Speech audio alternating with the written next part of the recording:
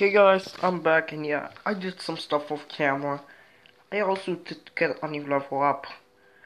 Okay? Sorry guys I did that, but I must...